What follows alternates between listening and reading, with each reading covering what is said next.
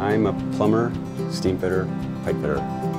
Right now I'm working on the uh, Athletes Village in, uh, in the Pan Am Games. The fact that we're working on something that uh, the rest of the world will be seeing, that sort of sense of pride as a Torontonian, knowing that we're actually putting together a world-class facility for the rest of the world to participate in and actually see.